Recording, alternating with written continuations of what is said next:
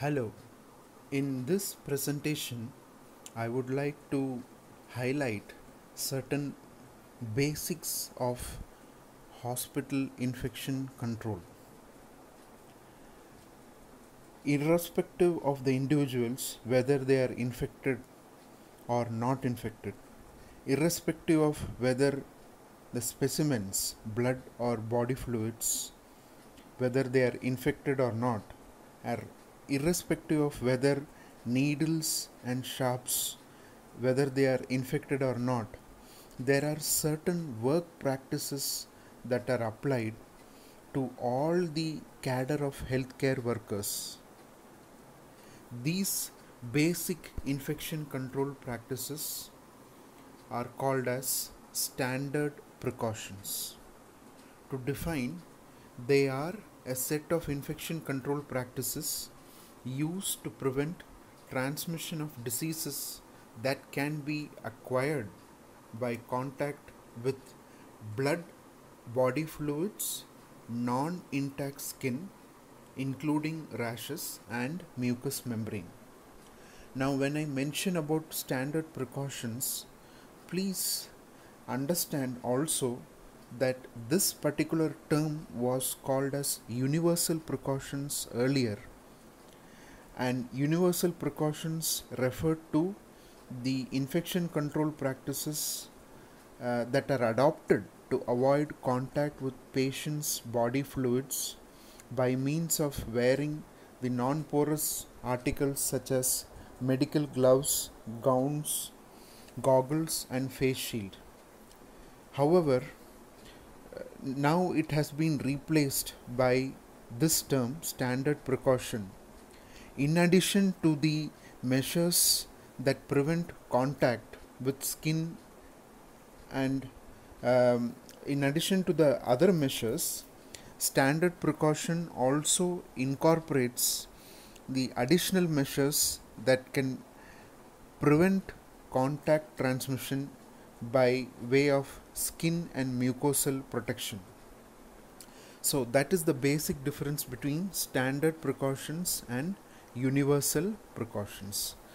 I repeat, please remember that standard precautions also include measures to prevent skin and mucosal contact transmission when compared to that of the uh, universal precautions. Now let us see the various components of standard precautions. Well, it goes without saying and without even a doubt, especially in the present COVID times, that hand hygiene uh, occupies a very, very, very important position. It is ranked up there as the number one standard precaution that has to be adopted by any healthcare worker, no matter wherever that person is working in the hospital. Now, hand hygiene refers to both hand rub and hand wash. As you are aware, hand rub uh, is the duration of the entire procedure is about 20 to 30 seconds when compared to hand wash, which is of 40 to 60 seconds.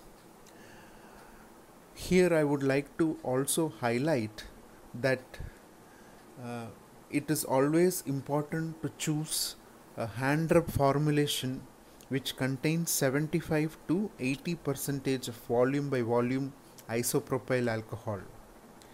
If you are using a chlorhexidine based hand rub, then we must ensure that the concentration of alcohol remains around 60% volume by volume. Please remember that chlorhexidine which added to alcohol increases the residual activity of the hand rub solution. But whenever you suspect a patient to be infected with antibiotic associated diarrhea caused due to Clostridioides difficile, or whenever the patient's uh, wounds are soiled with organic matter or even when your own hands are soiled with organic matter, it is always wiser to substitute hand wash with that of hand rub. But if you are doing a duty in the COVID area of the hospital, you would always and almost always be having uh, wearing a glove. Therefore, in such a situation, a generous amount of hand rubbing would help you to get protected from both the patients and also from the contaminated environmental surroundings in that designated hospital area. According to the CDC, there are different ways of performing hand hygiene. The routine hand wash takes around 15 seconds, and as I mentioned, the hand rub takes 30 seconds, hand wash, which is an antiseptic hand wash, uh, takes around 40 to 60 seconds, and the hand scrubbing that the surgeons usually perform in the hospital takes about 2 to 6 minutes. And if uh, the water and antimicrobial soap is being used followed by an alcohol based surgical hand scrub product the duration depends on the manufacturer's instruction. So here i would also like to emphasize that it is not only the responsibility of the healthcare worker but also the responsibility of the patient and also the caregiver, the bystander of the patient, and those who are visiting the patient to equally adhere to the hand hygiene practices. And it must be the motto of the healthcare worker to motivate the patient visitors and patient bystanders to practice hand hygiene. Now, WHO has prescribed five moments for hand hygiene. These moments are 1. Before touching a patient, 2. Before clean and aseptic procedure, 3. After body fluid exposure risk, 4. After touching a patient, and 5. After touching the patient surroundings. Please keep in mind that it is not only important to perform hand hygiene in between the uh, caring for the patient but it is also important to do so between the two procedures that are done in the same patient itself it is uh, the moment 5 that is the moment where you have to perform hand hygiene after touching patient surroundings is most often neglected in routine uh, patient care activities in the hospital. So, along with this uh, information, I would also wish to share that uh, it is very, very, very important to ensure that you perform the hand hygiene appropriately, adhering to all the steps that are prescribed by the WHO. This is very very important because the areas that are most frequently missed during hand washing are 1 between the fingers the web spaces 2 at the top of the uh, hands and 3 beneath the nails and also in the thumb if you've noticed the elaborate steps of the hand hygiene you would notice a step where you have to interlace and interlock your fingers. You have to perform the rotational rubbing of the thumb, thumb and there is another step, the last step 7, where you need to clasp the fingers of your hand and rotate it on the opposite hand. So, these are the three most important steps again that are usually overlooked by most of the healthcare workers. Therefore, when you practice hand hygiene, it would always be wiser initially to have a buddy who can check whether you have performed all the steps properly or not. The reason why I am stressing so much on the steps of hand hygiene and its proper adherence is that in the present pandemic situation or for that matter for any pandemic situations in future where we would not know the real nature or virulence of the causative microbe the basic simple precautionary steps uh, which include hand hygiene assume a great importance and practicing hand hygiene diligently goes a very very long way in ensuring better patient care uh, health deliveries. WHO for this purpose has declared May 5 as the Global Hand Hygiene Day. Every year the theme is revised and as of 2021 the theme is seconds save lives and clean your hands rightly so because most of the healthcare workers uh, do not perform hand hygiene thinking that uh, the patient care assumes more significance and some of them feel that their hands are already clean. Uh, some of them uh, they say that they are so overburdened by the uh, number of patients that they have to take care that they do not have actually uh, time to perform hand hygiene. But my dear friends let me also remind you in the same spirit that even though you have lot of uh, patient care activities to perform in your hospital area uh, it only takes around 20 to 30 seconds for performing hand rub. So i think you can definitely spare this much time for your own health as you are diligently taking care of the health of the patients. This concept was widely proposed and propagated by Dr. Ignaz Philipp Semmelweis, who was a Hungarian physician, as he observed that hand hygiene could reduce the rates of puerperal sepsis. This man spent all his life advocating this philosophy to the point that he was, uh, you know, he faced so much of opposition that he had to finally leave his life in the mental asylum trying to convince the uh, the medical fraternity on the importance of adopting hand hygiene. Rightly so today we have re- uh, re- recognized and we have accepted and realized that hand hygiene is one of the most important standard precautions in hospital infection control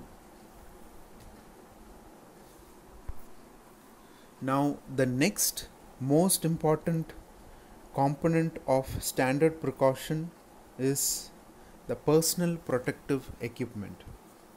As all of you are aware, personal protective equipment are a set of uh, you know uh, personal protective wear or clothing that are worn by the healthcare worker to prevent exposure from blood body fluids and also the contaminated environment.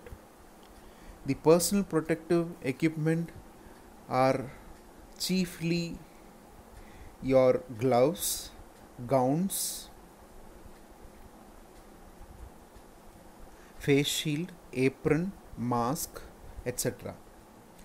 One thing that I would like to emphasize here is the type of personal protective equipment is dictated by the infection which your patient has and whether that infection is spread by contact, droplet, or airborne spread.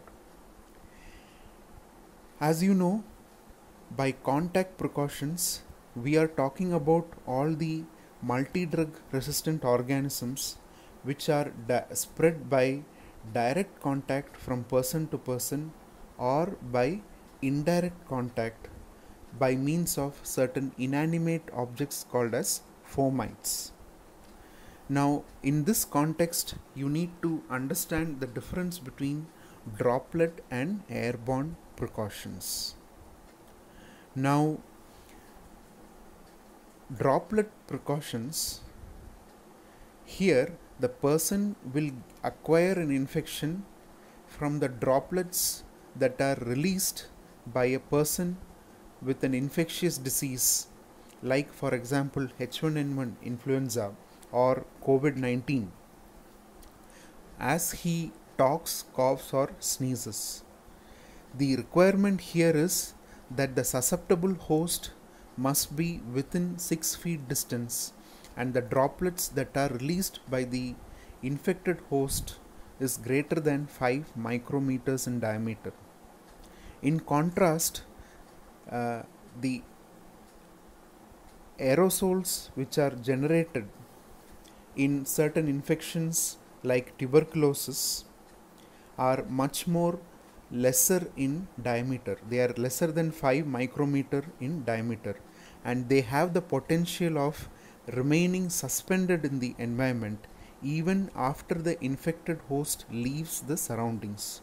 So, if the susceptible host enters the surroundings of the infected host, he or she can inhale these minute aerosols even without the presence of the infected host. So, my dear friends, let me just reiterate for understanding that the basic difference between the droplet tran- precautions and airborne precautions is uh, transmission sorry is that for a droplet transmission to occur the infected host must be within the vicinity of the susceptible host.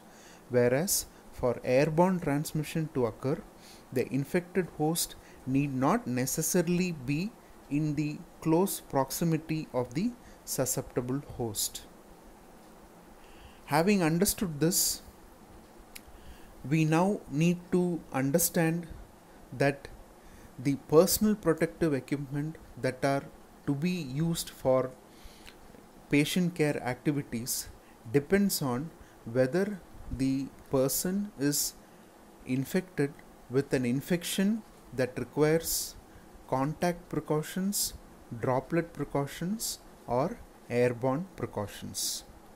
In the context of COVID 19, initially it was thought that this virus spreads through droplets.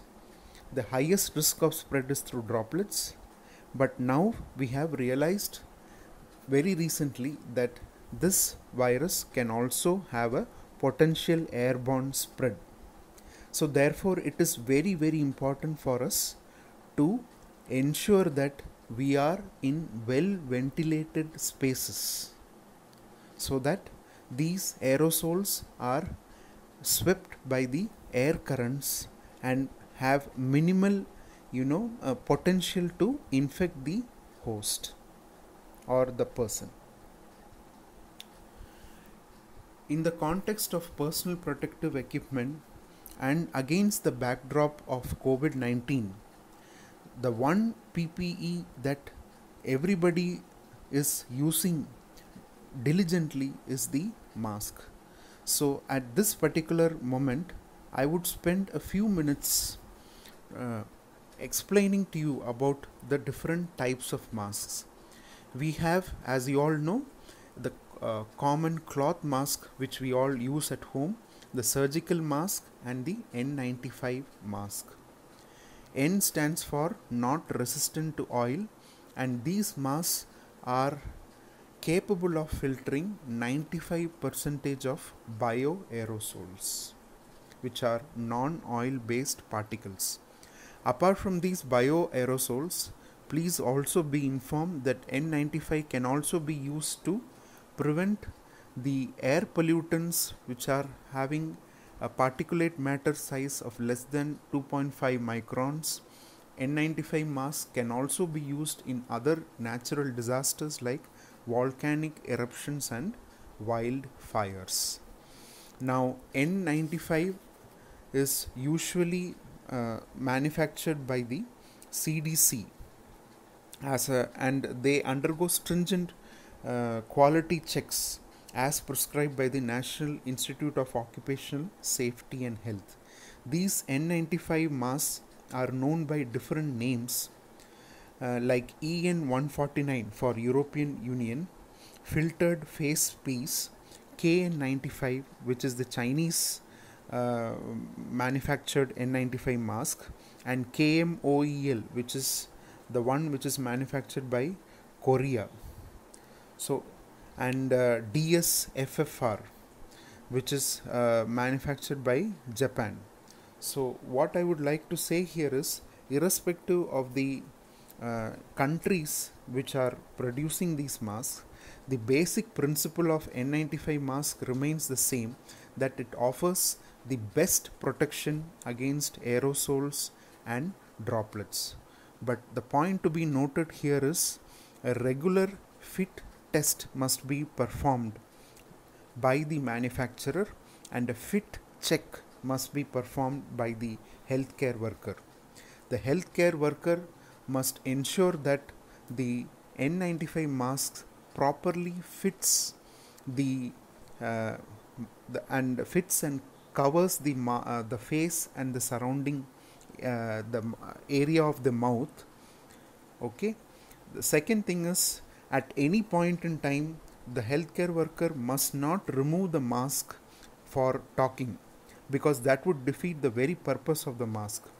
Similarly most of them have been observed to you know lower the mask below the jaws and uh, continue with their patient care activities. This is also an unhealthy uh, practice because that again defeats the very purpose of the mask and by virtue of the mask being present in the jaw and the neck you are also carrying lot of germs which are present in that area and bringing it back to your mouth when you replace that mask now uh, a fit check also should ensure that uh, there is no air leak between the mask and the face. So once you have worn the mask, you should blow the air outwards to observe the ballooning of the mask, which would ensure the positive pressure seal. And you should blow or you should inhale the air and to see whether the masks are flattened from the out, outer portion of the mask is flattened that would ensure the negative pressure seal. If you are a male healthcare worker it is preferable not to have a beard or in other words you should shave your beard before wearing the N95 mask. That is a good uh, practice. And please remember that these masks are designed to filter 95% of the bioaerosols. But certain gases like uh, hydrogen sulfide etc which will be emanating during the laparoscopic surgeries or during endoscopic procedures have particle size lesser than uh, 0.0002 or very very minute particle size gases. These can still enter the N95 mask. And uh, please be informed that this does not indicate the mask malfunction. Now for surgical mask, this particular mask is uh, provides a physical barrier and it is more cheaper than the N95 mask but this surgical mask will not be able to uh, you know prevent against bioaerosols that are usually generated during a set of procedures called as aerosol generation procedures. These masks are also disposable. You can use N95 masks for up to 8 hours or 5 days whichever is earlier uh, extended use and surgical mask can be used for up to 4 to 6 hours and it is usually disposable and meant for one time use. In comparison to both these medical masks, you have cloth masks which are loose fitting masks made of layered polyester or cotton filters can be used generally uh, by the common man uh, more than the healthcare worker. And uh, they are homemade they can be washed and reused. And uh, uh, it can be used especially in situations where there is uh, you know dif- uh, difficulty or contingency in procuring the medical masks. So please be informed the covid-19 patients or those patients who require you know droplet transmission uh, uh, droplet sorry who require droplet precautions or airborne precautions or they are infected by such a disease only those patients need to be wearing the N95 mask or the surgical mask or any form of the medical mask other people who are not infected by any of the diseases that require uh, that are spread by droplets or airborne uh, you know transmission modes generally can do well with cloth mask. In this context there is also a powdered air purifying respirator which usually comes with a head top battery powdered sorry battery powered blower to filter air. Again this can be used during aerosol generating procedures but please remember they are more costlier and they also do not require fit testing and they can be worn with facial hair and they are more comfortable but they are very very costly. So it would be better to go for an N95 mask if you are infected by a disease that is spread through droplet uh, or airborne route. Now, if you look at the comparative uh, filtering effect of these masks, you would notice here that for protecting yourself okay from the people if let's say around 100 particles are produced by the environment the cloth mask will help um, or the particles that are leaked through a cloth, cloth mask is much more higher than that of the surgical mask and the N95 mask. Similarly, uh, in situations where you cough, talk, or sneeze, and if let's say on an average, on a reference value, 100 particles are released into the environment, the other people or the person who stand who's standing next to you or close to you will uh, will be likely to get nine uh, more particles or will be likely to get infected by more particles if you wear a cloth mask when compared to the surgical or N95 mask. One more difference between surgical and N95 mask is that surgical masks are uh, you know they protect the wearer from the uh, the environment uh, but the N95 mask has a dual protection. They protect both the wearer and also they protect the other persons who come in contact with the wearer. So that is why uh, this particular slide was uh, uh, you know was chosen to just to highlight the differences between the level of protection that is offered by these three types of mask. So if you uh, with the available or with the presence of a lot of mutants of covid-19 and with the appearance of lot of variants of concern as it's commonly called as uh, which have the potential of increased transmissibility, more and more emphasis is given on the proper wearing of mask. It is always uh, very very important to note that those masks uh, which have this ear loop, it is better to knot and tuck those ear loops in a three ply mask as is shown in this particular slide and also whenever you are wearing a double mask please ensure that you do not combine two disposable masks and you do not combine uh, a disposable mask with the N95 mask. Because N95 masks offer the highest level of protection so it is naturally common sense that uh, you need not wear another mask over the N95 eh, another disposable mask over the N95 mask but sometimes in contingencies you can wear a surgical mask over it to prolong the life of N95 masks.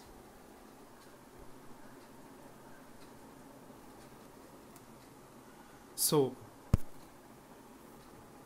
this brings to the very important point of what personal protective equipment that we need to choose the type of personal protective equipment that a healthcare worker needs to choose for different types of infectious diseases requiring contact droplet and airborne transmission.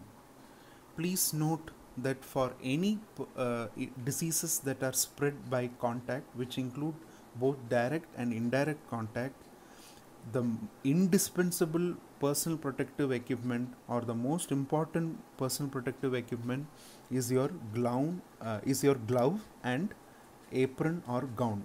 Both of them should be worn for uh, an infection that is spread by droplets. It is very very important for us to uh, ensure that we wear gloves surgical mask, apron or gown, and the face shield. And for airborne transmissions, we the the the we need to wear all the personal protective equipment, but here the surgical mask will be replaced by a N95 mask. Please understand here, it, uh, very important, uh, you know, um, thing here to, to for us to understand here is that personal protective equipment using it is all about common sense so if you expect an aerosol generating if you are doing an aerosol generating procedure on a person who re- who requires contact precautions please understand that there is no harm in wearing a mask and face shield also along with gloves and apron. Similarly, if you are anticipating exposure to blood, body fluid, and contaminated items, you can choose the most appropriate personal protective equipment. So, to briefly summarize, the most important personal protective equipment required for contact transmission is gloves and gowns. For droplet transmission, it is surgical mask and for airborne transmission it is N95 mask. But the other personal protective equipment can be used depending on the potential of the healthcare worker to get exposed to blood, body fluids, and contaminated items. And whenever a healthcare worker is performing an aerosol generating procedure, it is vital to include all the personal protective equipment. So basically, before performing a patient care activity, it would be wise to spend a few moments to think about what possible exposure that you are likely to have following the procedure and you have to choose your personal protective equipment according to the anticipated risk of exposure okay and in this context let me also uh, emphasize that there is a certain procedure for donning and doffing of these personal protective equipment. The donning and doffing procedure, that is, donning refers to the sequence of wearing it, doffing refers to sequence of removing it. Both these procedures uh, varies from COVID and non COVID areas. So I will just be focusing on the non COVID areas because of the fact that I am dealing with standard precautions or the elementary level of precautions that are to be adopted by healthcare workers. In COVID areas, we have a dedicated PPE kit and the sequence of donning and doffing slightly differs because we have shoe cover uh, and uh, you know the eye shield etc along with the other personal protective equipment so in a non covid area the donning sequence is hand hygiene followed by uh, gown mask or respirator goggles or face shield, and gloves. I repeat hand hygiene followed by gown, followed by mask or respirator, goggles or face shield, and gloves. The doffing sequence is gloves followed by goggles or face shield, gown, mask or respirator, and hand hygiene. I repeat gloves, goggles or face shield, gowns, mask or respirator, and hand hygiene. Please remember that doffing is more important than donning because while donning, you know that all the personal protective equipment are sterile or they are uninfected. Whereas after your procedure is over, the patient care activity is over, you know that you are dealing with an infected personal protective equipment. Therefore, please do not hesitate to perform hand hygiene generously if there should be any doubt in your mind as regarding the way in which you are doffing the personal protective equipment.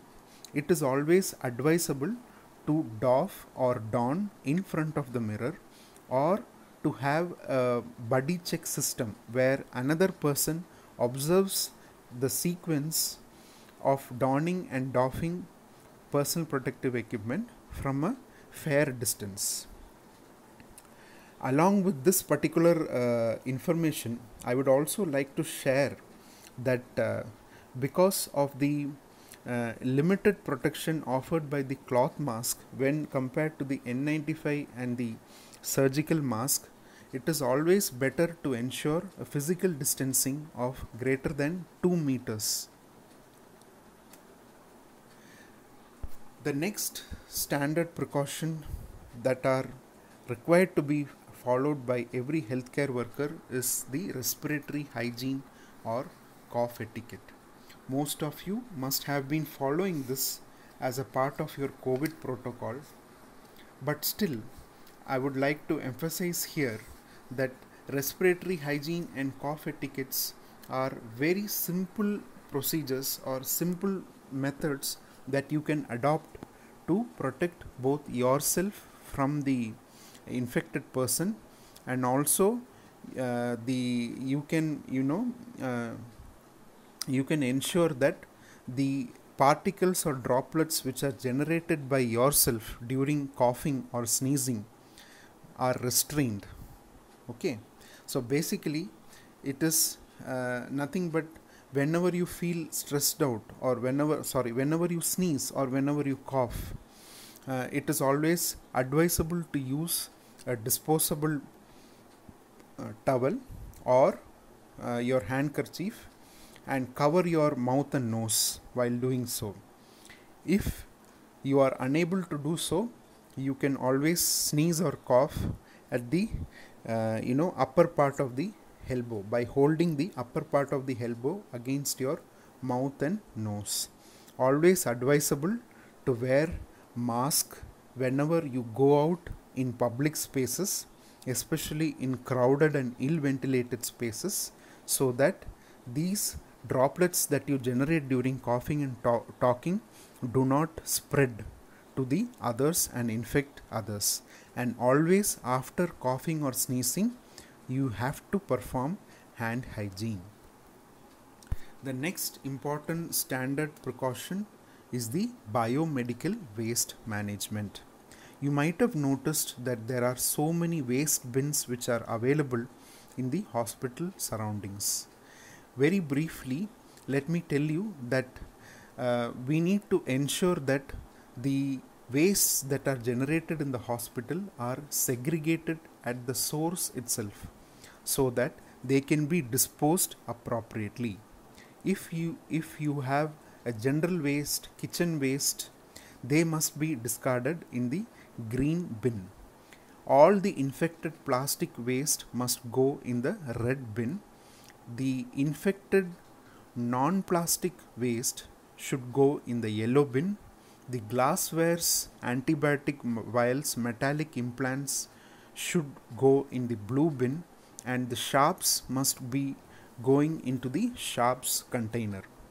This kind of segregation is essential because the treatment of each of these waste categories differ. For uh, waste that are put in the green bag, they are usually disposed by uh, secured landfilling. The uh, red bags usually go for autoclaving. The uh, yellow bags usually go for, you know, um, autoclaving followed by incineration. Then the blue bags go for autoclaving, and the sharps are also uh, discarded in the sharps pit.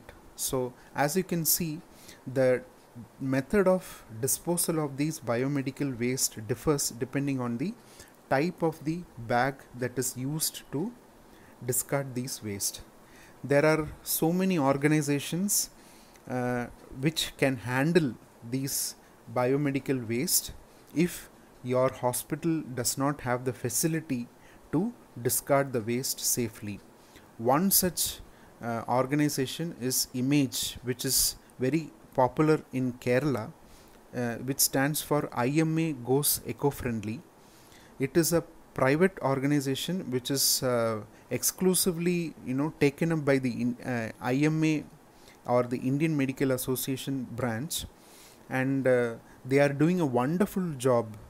Uh, you know, disposing the biomedical waste generated from the hospitals, and they have a very wide network of uh, uh, collection vans which go to all the hospitals across the state and uh, they help to disinfect these biomedical waste securely and safely without causing any damage. The next important standard precaution here is the spill management. Now, spill management consists of uh, you know disposing the infectious materials like blood or body fluids that that might have accidentally been dropped either in the lab or in any other hospital area there are certain contents which are mandatory to be you know present in a spill tray and all the uh, uh, facilities where the spills are likely to be generated must have a spill tray. The spill tray generally consists of a scooper, dustpan, disposable gloves, a 20 cc syringe, uh, chalk or marker, two bottles, uh, freshly prepared uh, sodium hypochlorite solution 0.5 and 0.05 percentage, uh, mercury uh, a bottle for collecting the mercury spills, uh, one torch, a wiper, a mask, a plastic apron, and absorbent paper or a yellow disposable bag. Now let us see the different steps of spill management. Once there is a spillage, it is very important to attend the spillage immediately before proceeding with the other healthcare activities. Mark the spill area with a chalk and put a wet floor signage indicating or cautioning your colleagues who are working in your area to not to step on that secondly you need to wear the appropriate personal protective equipment as i mentioned earlier you have to anticipate the type of exposure that you would likely to ex- uh, you know get from a spill and wear the proper ppe usually we wear gloves apron for the spill management but a mask can be worn if it is a bioaerosol or if the spill occurs in a closely or um, uh, or uh, ill ventilated area okay in an ill ventilated area so the glass pieces if they have fallen must be first picked up with a puncture proof board and discarded in the sharps container then you have to place an adsorbent paper or a tissue paper. If both are not available, even a newspaper can also do the job. This paper must be placed on the blood or body fluid to cover the spill area. Then the area must be cleaned with detergent and water. If it is a small spill, we need to use 0.05% sodium hypochlorite and if it is a large spill we need to use 0.5 percentage of sodium hypochlorite. Please ensure that the sodium hypochlorite solution is freshly prepared. And depending on the nature of the spill, you can use the appropriate concentration of the sodium hypochlorite and you can pour it over the spill area. After pouring the solution, you have to allow a contact period of around 10 to 20 minutes over the spill area. After that, the uh, cloth must be discarded in the yellow bag and the residuals uh, uh, the body fluid which remains may be disinfected with clean water. The final step in spill management is to discard your gloves and plastic apron or the appropriate PPE in the bag, in the red bag, and mask if it is used can be discarded in the yellow bag. So, uh, dear friends, these are the basic elementary steps of spill management that are to be ingrained in your minds while performing healthcare activities. Because healthcare activities also involve certain risks of exposure to biological body fluids from your patients which are you know uh, unexpected risks and unforeseen risks. So in the event that such a situation occurs you should always be ready to manage it then the next important uh, standard precaution is to ensure the disinfection of patient care items. Please understand that depending on the uh, equipments or surfaces that are usually used or usually present in a particular uh, ward or in a particular you know uh, unit or in the ICU or in the dialysis unit uh, you have to design your pattern of cleaning, cleaning of the uh, patient care items. Usually, we proceed from low touch patient surfaces to high touch patient surfaces. We clean the patient areas first, followed by patient toilets. So, in other words, we proceed from a cleaner area to a dirtier area. If you can look at this diagram, which is uh, there in this slide, you can see that the patient care areas are divided into three zones. The zone 1 consists of shared equipment and common surfaces. The second zone is uh, comprises of the items that are touched during patient care and the third zone is the uh, patient items the, which come uh, uh the items which come in direct contact with the patient so it is always advisable to go from zone 1 to zone 3. So before disinfecting a patient item or decontaminating a patient item, you should always assess the area visually, demarcate these zones and proceed likewise. High touch surfaces and low touch surfaces are two terms which you need to be uh, very familiar with. High touch surfaces are those which are usually touched frequently by the uh, patients. So any surface which is touched by more than one person is called as a high touch surface. And these high touch surfaces must be cleaned every 3 to 4 hours. Low touch surfaces should be cleaned at least once daily. And your cleaning should always proceed in a systematic manner, which is also called as the figure of 8 stroke technique. Okay. So as you can see in the uh, other half of this slide uh, procedure of doing this figure of 8 or the 8 stroke technique is clearly demonstrated where you make sweeping movements with the mop in such a way that the adjacent zones do not overlap with each other. During this entire procedure, we should keep in mind that double dipping of the mops should be avoided. And the last uh, standard precaution that needs to be followed is to ensure that uh, the sharps are disposed safely. There are some general measures that we need we all need to follow. and uh, we need to ensure that uh, we need to wear appropriate personal protective equipment whenever we use the sharps for patient care activity. Hand hygiene goes without saying that it is of paramount importance. The work surfaces need to be disinfected with 1% sodium hypochlorite. And your spill management steps should be uh, you know uh, ingrained or you should be trained for handling any event of spillage of blood or body fluids. It is very very important also to note that we, uh, we should avoid unnecessary use of the needles preferably use disposable needles.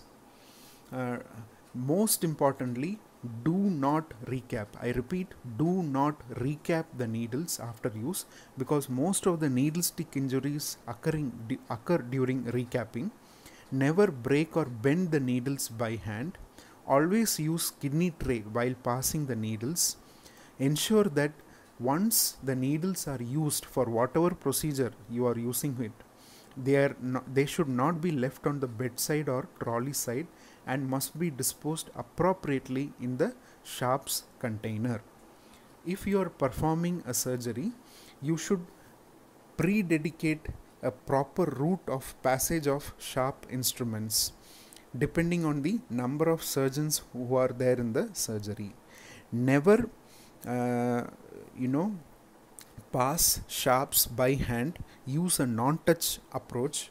Preferably a kidney tray is indicated pass only one sharp per time. If you are in a area which is endemic for hepatitis B, C or HIV a double gloves can be indicated. But if uh, a double gloves is also indicated when you are you know um, um, uh, operating for a longer duration so that uh, you can rem- replace the outer gloves after it is soiled and then wear uh, wear another fresh pair of uh, sterile gloves and continue with the procedure. If there are more than one surgeon for a surgery each surgeon should preferably have a separate tray. In the event of a needle stick injury please remember that the gloves or uh, whatever you are wearing should be immediately removed and the entire uh, brick should be washed with running water. Please remember this. It should be washed with running water. The appropriate uh, uh, your unit head or your chief where you are working in the area you are working in must be informed. Uh, you should also inform the infection control officer or the infection control team. And you should promptly report it to the casualty medical officer for further procedure. It is also generally advised to get yourself vaccinated for hepatitis B. And once you are vaccinated, you should have an anti HBS titer of greater than 10 milli international units, which will tell you that you are uh, uh reasonably protected against this infection.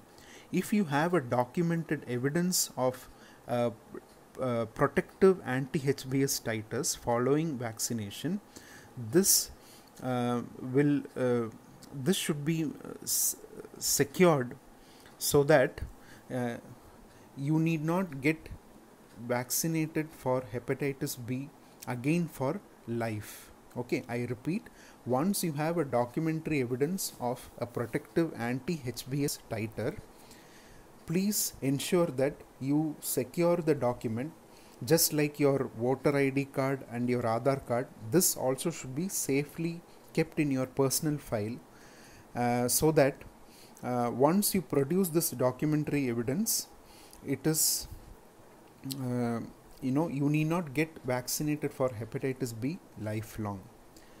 Okay, because this is another practical problem which is usually encountered because most of the healthcare workers feel that they should keep on getting booster doses if their titer is low.